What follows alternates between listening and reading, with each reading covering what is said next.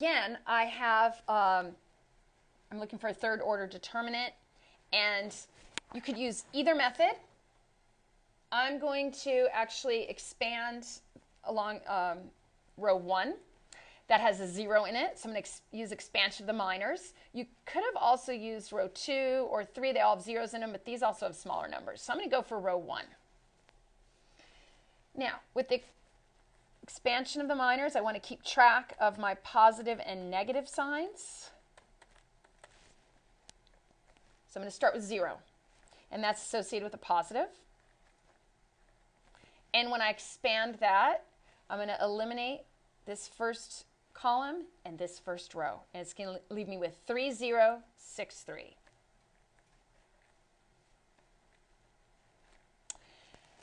The next I'm going to rewrite this, two, three, four, so that you can see very clearly.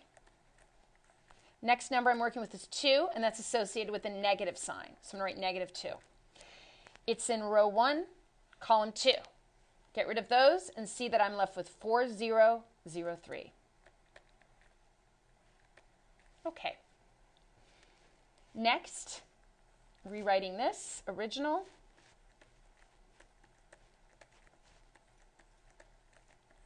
I'm now working with the 3, and that has a positive sign associated with it.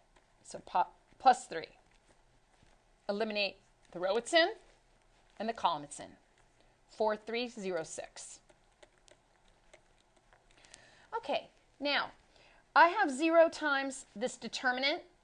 That's just going to be, it's just going to drop out. So I'm not even going to waste my time figuring out that determinant. These other ones, I use AD minus BC to find those. So I have minus 2 times, this is 4 times 3 minus 0 times 0. Plus, okay, so I have this taken care of, plus 3 times AD minus BC. So that's 4 times 6 minus 0 times 3. Okay, do the math now. This is just 0. It's going to drop out minus 2 times 12 minus 0 plus 3 times 24 minus 0.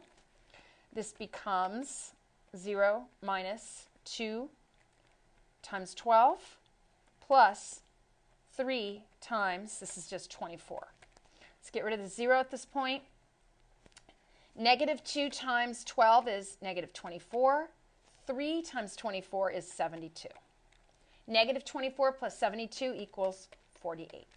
Okay, so we found this third order determinant by using expansion of the minors along row 1 and being careful to keep the signs straight on the numbers associated with those and crossing out the row and column for each number to find the associated minor.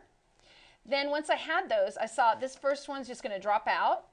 For the second and third, I used AD minus BC to figure this out, multiplied this one